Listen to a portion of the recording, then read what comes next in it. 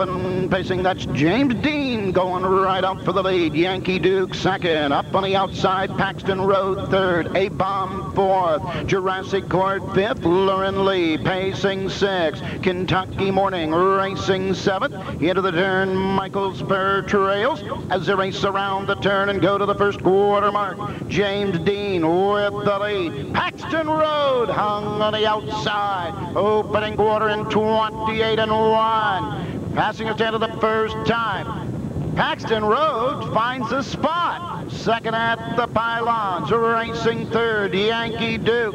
Fourth is A-Bomb, racing fifth, Jurassic Court.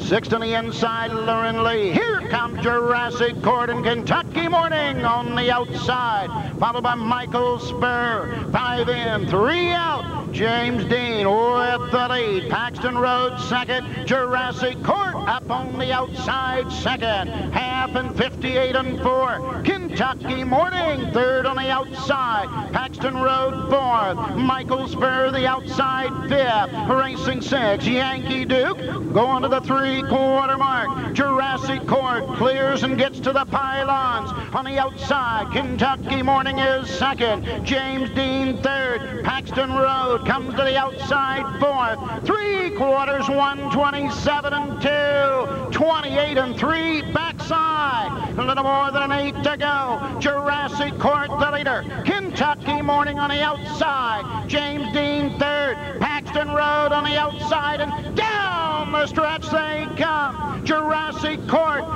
Paxton Road on the outside. Kentucky Morning between horses. Coming to the wire. It's Paxton Road. Kentucky Morning second. Yankee Duke was third. One, 57 and four.